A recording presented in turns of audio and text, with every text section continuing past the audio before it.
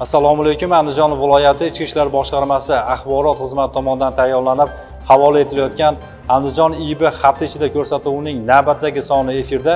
Bugungi ko'rsatuvimiz orqali jinoyat va hodisalarning tafsilotlari hafta davomida ichki ishlar organlari xodimlari tomonidan amalga oshirilayotgan ishlar to'g'risida xabardor bo'lasiz. Dastlab ko'rsatuvimizning qisqacha anonsi bilan tanishing. Ellik sotix yer maydonini 35 ming aqsh dollariga sotmoqchi bo'lgan firibgar shaxs qo'lga olindi. Umumiy ovqatlanish joyi niqobi ostida qo'shmachilik faoliyati bilan shug'ullanib kelayotganlar aniqlandi. Faol va uyushmagan yoshlar hamda mashhur sportchilar ishtirokida uchrashuv bo'lib o'tdi. Men kelajakda ichki ishlar xodimi bo'lmoqchiman mavzusida insholar tanlovi g'oliblari aniqlandi. Andijon akademik litsey o'quvchilari uchun o'quv amaliy mashg'ulotlari tashkil etildi. Avtomobil maktabida o'qish istagida bo'lgan yoshlar ishtirokida yosh avtomobilchi tanlovi o'tkazildi. Andijon viloyati ichki ishlar boshqarmasi apparati shaxsiy tarkibi uchun navbatdagi ma'naviyat va ma'rifat darsi bo'lib o'tdi. Andijon viloyatining izboskan tumanida joylashgan 50 sotixli yer maydonini sotish huquqiga ega bo'lmay turib 35 ming aqsh dollari evaziga sotmoqchi bo'lgan firibgar shaxs qo'lga olindi. Dastlabki loyihamiz aynan shu to'g'risida. Bugungi kunda fuqarolarni aldab firibgarlik yo'li orqali pul topishni niyat qilganlar ham uchrab turadi. Ammo ularning bu kabi qabih maqsadlari amalga oshmaydi. Ichki ishlar organlari xodimlari tomonidan firibgarlarga nisbatan qonunda belgilangan tartibda jazo choralari qo'llaniladi. Yuqoridagi kabi holatlarning birida andijon viloyati ichki ishlar boshqarmasiga oltinko'l tumanida yashovchi fuqaro ariza bilan murojaat qilib bir nafar erkak fuqaro izboskan tumanida joylashgan 50 sotix yer maydonini sotish huquqiga ega bo'lmay turib har bir sotix uchun 700 aqsh dollaridan jami 35 ming aqsh dollari evaziga sotmoqchi ekanligini shu sababli unga nisbatan qonuniy chora ko'rishni so'ragan. Mazkur arizaga asosan o'zbekiston respublikasi ichki ishlar vazirligi jinoyat qidiruv bosh boshqarmasi korrupsiya va iqtisodiy jinoyatlarga qarshi kurashish boshqarmasi hamda andijon viloyati ichki ishlar boshqarmasi jinoyat qidiruv boshqarmasi korrupsiya va iqtisodiy jinoyatlarga qarshi kurashish boshqarmasi xodimlari tomonidan o'tkazilgan tezkor tadbirlar davomida yer sotmoqchi bo'lgan shaxs izboskan tumani hududida joylashgan jome masjidi oldida firibgarlik yo'li bilan ariza muallifidan so'ralgan 35 ming aqsh dollaridan 292 million million 825 million so'mga teng bo'lgan jami 26500 aqsh dollari miqdoridagi pullarni olgan vaqtida tadbir ishtirokchilari tomonidan ashyoviy dalillar bilan qo'lga olingan. Mazkur holat yuzasidan izboskan tuman ichki ishlar bo'limi huzuridagi tergov guruhi tomonidan o'zbekiston respublikasi jinoyat kodeksining 168 moddasi 4 qismi a bandi bilan jinoyat ishi qo'zg'atilib dastlabki tergov harakatlari olib borilmoqda. Andijon viloyatining ulug'nor tumanida umumiy ovqatlanish joyi niqob ostida qo'shmachilik faoliyati bilan shug'ullanib kelayotganlar aniqlandi. Tafsilotlar navbatdagi lavhamizda. Achchiq bo'lsa-da bugungi kunda ayrim kimsalar ayniqsa ayollar yengil pul topish ilinjida qo'shmachilik qilish yoki bog'chaxona saqlash kabi jirkanch ishni o'zlariga kasb qilib olib shuning ortidan tirikchilik qilishni yana ham achinarlisi oila tebratishni o'zlariga ep ko'rishmoqda. Andijon viloyati ichki ishlar boshqarmasi odam savdosi va noqonuniy migratsiyaga qarshi kurashish bo'limi hamda ulug'nor tumani ichki ishlar bo'limi xodimlari bilan hamkorlikda o'tkazilgan tezkor tadbir davomida 1978 yilda tug'ilgan ayol tuman hududida joylashgan baliqxonada ish yurituvchi bo'lib ishlab kelgani holda baliqxona niqobi ostida ushbu manzilda baliqchi tumanida yashovchi 2003 yilda tug'ilgan fuqaroni g'arazli yoki boshqa past niyatlarda xolis mijozdan oldindan olingan 200 ming so'm miqdordagi pullar evaziga ularni jinsiy aloqa qilishlari uchun sharoit yaratib bergani vaqtida tadbir ishtirokchilari tomonidan qo'lga olindi. Shuningdek tezkor tadbir davomida fuqaro tomonidan taqdim etilgan 200 ming so'm pullar ashyoviy dalil tariqasida xolislar ishtirokida bayonnoma orqali tekshirib ko'rishlik uchun olingan. Mazkur holat yuzasidan ulug'nor tumani ichki ishlar bo'limi huzuridagi tergov guruhi tomonidan o'zbekiston respublikasi jinoyat kodeksining 131 moddasi birinchi qismi bilan jinoyat ishi qo'zg'atilib tergov harakatlari olib borilmoqda. Faol va uyushmagan yoshlar o'rtasida jinoyatchilik va huquqbuzarliklarni barvaqt oldini olish ularni vatanparvarlik ruhida tarbiyalash maqsadida mashhur sportchilar ishtirokida uchrashuv bo'lib o'tdi. Hozir shu haqida. Mamlakatimiz taraqqiyoti har tomonlama o'sib unib kelayotgan navqiron avlodning ta'lim tarbiyasi ma'naviyati va madaniyati bilan chambarchas bog'liq. Yurtimizda yoshlarga qaratilayotgan e'tibor g'amxo'rlik mamlakatimizda olib borilayotgan siyosatning eng ustuvor yo'nalishidir. Har bir sohada qo'lga kiritilayotgan marralar yutuqlar ana shu g'amxo'rlik va qo'llab quvvatlashning yorqin ifodasidir. Vatan taqdiriga daxldor ekanligini his qilib yashash va berilayotgan imkoniyatlardan unumli foydalanish har bir o'zbekiston farzandining muqaddas burchidir. Shu maqsadda andijon viloyati ichki ishlar boshqarmasi boshlig'ining o'rinbosari ismanov isomiddin boshchiligida andijon iqtisodiyot va qurilish institutining majlislar zalida viloyatdagi barcha shahar tumanlarida yashovchi faol va uyushmagan yoshlar bilan vatanga muhabbat va vatanparvarlikni oshirish yuzasidan mashhur sportchilar bilan uchrashuv bo'lib o'tdi. Mazkur uchrashuvda boks bo'yicha olimpiada chempioni muhammad qodir abdullayev va aralash jang sport turi bo'yicha jahon chempioni shohasan mirzamatovlar ishtirok etdi. Sportchilar o'zlarining qanday qilib muvaffaqiyatga erishganlari ularni qanday yengib o'tganliklari to'g'risida gapirib yoshlarga vatanparvarlik bo'sh vaqtlarini mazmunli tashkil etish vaqtdan unumli foydalanish va ertangi kun uchun harakat qilishlari haqida motivatsion misollar bilan gapirib o'tdilar. Uchrashuvda ishtirok etayotgan yoshlar sportchilar bilan muloqotga kirishar ekan o'zlari uchun qiziq bo'lgan savollarga kerakli javoblarni oldilar. Tadbir so'ngida huquqbuzarliklar va jinoyatchilikni oldini olishga ichki ishlar organlari xodimlariga yaqindan yordam berib kelayotgan to'rt nafar yoshlarga vazirlikning qo'l soatlari tantanali ravishda topshirildi. Shuningdek o'ttiz nafar yoshlarga qalqon guruhi ko'krak nishoni topshirildi. Andijon viloyati ichki ishlar boshqarmasi kasbiy tayyorgarlik bo'limi tashabbusi bilan men kelajakda ichki ishlar xodimi bo'lmoqchiman mavzusida insholar ko'rik tanlovi bo'lib o'tdi. Hozirgi lavhamizda shu haqida batafsil tanishasiz. O'sib kelayotgan yosh avlodni vatanga sadoqat ruhida tarbiyalash yoshlarni ichki ishlar organlari xodimlarining xizmat faoliyatiga qiziqishlarini yanada oshirish hamda kelajakda xodimlar safiga yetuk kadrlarni hozirdanoq shakllantirib borilishini ta'minlash maqsadida andijon viloyati ichki ishlar boshqarmasi tashabbusi bilan o'quvchi yoshlar o'rtasida men kelajakda ichki ishlar xodimi bo'lmoqchiman mavzusida insholar ko'rik tanlovi o'tkazildi. Ushbu ko'rik tanlovning quyi bosqichlarida andijon viloyatining 16 ta shahar tumanlaridagi jami 600 dan ortiq umumta'lim muassasalari ning 10 mingdan ziyod 8-11 sinf o'quvchilari ishtirok etib, g'oliblikni qo'lga kiritgan 53 nafar o'quvchilar viloyat bosqichida o'zaro bellashdilar. Dastlab Andijon viloyati ichki ishlar boshqarmasi mas'ul xodimlari tomonidan tanlov shartlari o'quvchilarga tushuntirildi. Shundan so'ng ko'rik tanlovida ishtirok etayotgan o'quvchilar o'zlarining ichki ishlar organlari xodimlarining faoliyati bilan bog'liq bilim va tushunchalari to'g'risida bor salohiyatlarini ishga solgan holda insholar yozishga kirishdilar.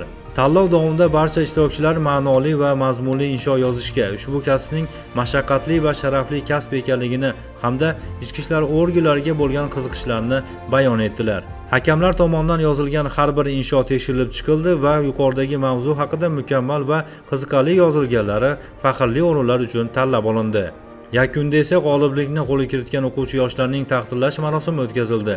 Unda ishtirok etganlar tomonidan o'quvchi yoshlarni maktab chog'idanoq vatanni sevishga, unga sadoqat bilan xizmat qilishga undaydigan bunday tanlovlar yana o'tkazilishi aytilib, tanlovga yoshlardagi qiziqish yuqori bo'lganligi alohida ta'kidlandi. Ko'rik tanlov yakunlariga ko'ra Xo'jaobod tumani 1-umumta'lim maktabi o'quvchisi Azizbek Muxtorov faxrli birinchi o'rinda, Ichki ishlar vazirligi Andijon akademik lisey o'quvchisi Karimjon Salimov faxrli ikkinchi o'rinda hamda Ulug'nor tumani 13 maktab o'quvchisi Marjona Usmonova faxrli 3 o'rinni egallab, tashkilotchilar tomonidan diplom va esdalik sovg'alari bilan taqdirlandilar. Men Andijon viloyati Xo'jaobod tumani 1 o'rta ta'lim maktabi o'quvchisiman. Men kelajakda ichki ishlar xodimi bo'lmoqchiman mavzusida men viloyat bosqichida insholar tanlovida ishtirok etib, tengdoshlarim orasida faxrli birinchi o'rinni egalladim. Buning uchun juda ham xursandman va men Andijon viloyati ichki ishlar boshqarmasi boshlig'ining istak ko'rsatuvi bilan taqdirlandim. Tanlov juda ham murosasiz kechdi. Tengdoshlarim ichida buning e, birinchi o'rinni egallaganimdan men juda ham xursandman. Men e, kelajakda ichki ishlar xodimi bo'lmoqchiman. E, men yozgan inshoyimda asosan xodimlarning o'z maqsadlari, vazifalari va vatani oldidagi burch haqida yozdim. Bu kelajakda eng avvalo ona vatanimizga sodiq farzandlarni sonini ko'payishiga olib keladi va e, yoshlarda savodxonlikni e, yuksalishiga xizmat qiladi. Andijon viloyati Ichki ishlar boshqarmasi ekspert kriminalistika markazi xodimlari tomonidan Ichki ishlar vazirligi Andijon akademik lisey o'quvchilari uchun o'quv amaliy mashg'ulot o'tkazildi. Navbatdagi lavhamiz shu haqida. Andijon viloyati ichki ishlar boshqarmasi boshlig'i tomonidan tasdiqlangan rejaga asosan ekspert kriminalistika markazi xodimlari tomonidan ichki ishlar vazirligi andijon akademik litsey o'quvchilariga kriminalistik texnika qo'llash umumiy qoidalari dalillarni topish olish va qayd etish uchun qo'llaniladigan texnik kriminalistik vositalar laboratoriya tadqiqotlarida ishlatiladigan texnik kriminalistik vositalar va metodlarning turlari hamda jinoyatlarni oldini olish issiq izidan fosh etish va tergov qilishda kriminalistik texnikaning o'rni mavzularida o'quv amaliy mashg'ulotlar o'tkazildi. Mashg'ulotlar davomida o'quvchilarga uzoq tajribaga ega ekspert kriminalist xodimlar zamonaviy kriminalistik texnikadan foydalanish tartiblarini amaliy tarzda ko'rsatib berdilar. O'quvchilar tomonidan berilgan savollarga mutaxassislar tomonidan kerakli va batafsil ma'lumotlar berildi. Bugun ichki ishlar organlari faoliyati fani bo'yicha andijon viloyati ichki ishlar ekspert kriminalistika markazi xodimlari bizni akademik litseyimizga tashrif buyurishdi va bizga ekspert kriminalistikaning zamonaviy texnikalari va kimyoviy kunlaridan bizga nazariy va amaliy bilimlarni taqdim etishdi. Men ham kelajakda ekspert kriminalistika xodimi bo'lmoqchiman. Mazkur o'quv amaliy mashg'ulotlardan ko'zlangan maqsad yosh avlodni kelajakda vatanparvarlik ruhida tarbiyalash ularni ichki ishlar organlarida ishlash ko'nikmalarini oshirish hamda o'qish davomida olgan bilimlarni amaliyotda tatbiq etishga ko'maklashishdan iborat bo'ldi. Andijon viloyati ichki ishlar boshqarmasi jamoat xavfsizligi xizmati yo'l harakati xavfsizligi boshqarmasi tashabbusi bilan yosh avtomobilchi ko'rik tanlovi o'tkazildi. Tadbir tafsilotlari bilan navbatdagi lavha orqali tanishasiz. 500 nafardan ortiq haydovchilik guvohnomasini olish istagida bo'lgan hamda avtomaktablarda tahsil oluvchi o'quvchilar ishtirok etgan yosh avtomobilchi tanlovi andijonda yagona bo'lgan smart avtodromda tashkil etildi. Respublika ishchi guruhi yoshlar ishlari agentligi viloyat ichki ishlar boshqarmasi yo'l harakati xavfsizligi boshqarmasi tomonidan tashkil etilgan tadbir avvalida yangi bunyod etilgan yagona imtihon markazi va uning afzalliklari xususida so'z yuritildi. Bugun yoshlarga berilayotgan imtiyoz va imkoniyatlar ularning kelajakda o'z yo'lini topishga ko'maklashishdan iborat ekanligi aytildi. Tadbir avvalida o'quv avtomobillari va yo'l harakati xavfsizligi boshqarmasining xizmat ulovlarining ko'rgazmasi bo'lib o'tdi. Shundan so'ng yigit qizlar yagona imtihon markazidagi shart sharoitlari bilan tanishtirildi. Ular imtihon jarayonlarida ishtirok etishib o'zlarining bu boradagi malakalarini oshirishga muvaffaq bo'lishdi. Nazariy bilimlar olingandan so'ng smart avtodromda bo'lgan yoshlar amaliy bilimlarni ham sinovdan o'tkazishdi.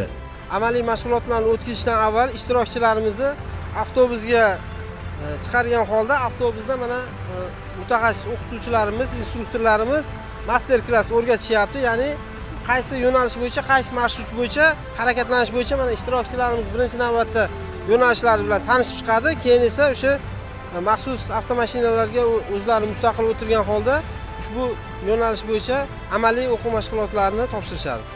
Tadbirda kitob yarmarkasi targ'ibot burchagi tashkil etildi. Sinov tariqasida o'tkazilgan amaliy va nazariy imtihonlarda yuqori natijaga erishgan yigit qizlar taqdirlandilar. Andijon viloyati ichki ishlar boshqarmasi apparati shaxsiy tarkibi uchun navbatdagi ma'naviyat va ma'rifat darsi andijon viloyati tarixi va madaniyati davlat muzeyi hamda registon maydonida tashkil etildi. Hozirgi lavhamiz shu to'g'risida. Xabaringiz bor haftaning har shanba kuni andijon viloyati ichki ishlar boshqarmasi apparati shaxsiy tarkibi uchun ma'naviyat va ma'rifat darsi bo'lib o'tadi. Bu galgi dars jarayonlari andijon shahrining eski shahar hududida joylashgan andijon viloyati tarixi va madaniyati davlat muzeyi hamda registon maydonida tashkil etildi. Andijon viloyati tarixi va madaniyati davlat muzeyi respublikamizdagi boy tarixga ega bo'lgan ilmiy ma'rifiy maskan hisoblanadi. Muzey bosh binosida tarixiy bo'limning ko'hna va navqiron andijon ekspozitsiyasi shuningdek tabiat bo'limida vodiyning tabiati o'simliklar va hayvonot dunyosi hamda muzey fondida saqlanayotgan viloyatimizning taniqli rassom va xalq amaliy san'ati ustalarining ko'rgazmalari mavjud. Ekspozitsiyalar 2017 yilda qayta tashkil etilgan. Muzeyga aholini ayniqsa sayyohlarni ko'proq jalb qilish maqsadida ushbu ekspozitsiyalar va ko'rgazmalar muntazam ravishda yangilanib yangi eksponatlar bilan boyitilib turiladi. Andijon viloyati ichki ishlar boshqarmasi apparati shaxsiy tarkibi ushbu muzeyning tarix bo'limi ekspozitsiyasida farg'ona vodiysida davlatchilikning kelib chiqishi shakllanishi va taraqqiyot tarixini noyob asori atikalar orqali tomosha qildilar. Bundan tashqari andijon farg'ona vodiysining eng qadimiy shaharlaridan biri hisoblanadi. Shaharning paydo bo'lishi haqida yozma manbalar juda kam bo'lganligi tufayli o'lka tarixini o'rganishda arxeologik tadqiqotlarga tayanishiga to'g'ri keladi. Xodimlar ham ushbu tadqiqotlar asosida andijon tarixini ko'zdan kechirdilar.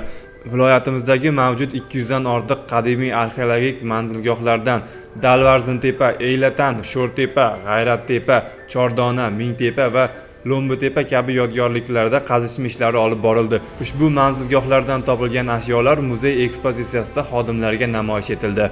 Dehqonchilik va chorvachilik asosida ishlab chiqarishning yo'lga qo'yilishi ijtimoiy iqtisodiy o'zgarishlar hunarmandchilikning rivojlanishi diniy tafakkur rivojida zardushtiylikka asos solinishi qadimiy sharqning yuqori darajada rivojlangan markazlari bilan o'zaro madaniy aloqalar murakkab ichki tuzilmalarga ega bo'lgan qal'a va ilk shaharlarning paydo bo'lishi yirik davlatlarning tashkil topishida katta rol o'ynagan. Ichki ishlar organlari xodimlari ushbu mavzularda ham kerakli va tarixiy ma'lumotlarga ega bo'ldilar. Bugungi ma'naviy ma'rifiy soatimiz aynan andijon viloyati tarixi va madaniyati davlat muzeyiga uyushtirildi. Bundan asosiy ko'zlangan maqsad xodimlarimizni e, muzeyga bo'lgan ishtiyoqini oshirish. Bu yerda asosan xodimlar e, oldingi davrlardagi e, maqbaralar kulollik asbob anjomlari va bizni andijon viloyati tarixiga tegishli bo'lgan barcha ma'lumotlarni oldik. Men uchun bu yerda e, yangilik bo'lgani bizni bobo kalonimiz zahiriddin muhammad boburni cho'pondan olgan shu karnay asbobi men uchun yangilik bo'ldi. Shu yerda uni e, oldingidek saqlanayotgani bizni judayam ajablantirdi. Bu muzeydan e, biz shunaqa taassurot oldikki albatta bu yerga faqat xodimlargina emas balki oila a'zolari bilan farzandlarimiz bilan tashrif buyurishni o'zimizga reja qilib oldik. Bir so'z bilan aytganda bugungi bo'lib o'tgan ma'naviyat va ma'rifat darsi xodimlarning tariximiz haqida bilimlarini yanada ko'payishi ularning tarixga bo'lgan qiziqishlarini oshirish va o'zlari uchun kerakli ma'lumotlarga ega bo'lish imkonini berdi. Bu sizlarga yetkazmoqchi bo'lgan xabar va lavhalarimizning so'nggisi edi. Ko'rsatuvimizning kelgusi soni orqali tinchlik va omonlikda ko'rishguncha xayr salomat bo'ling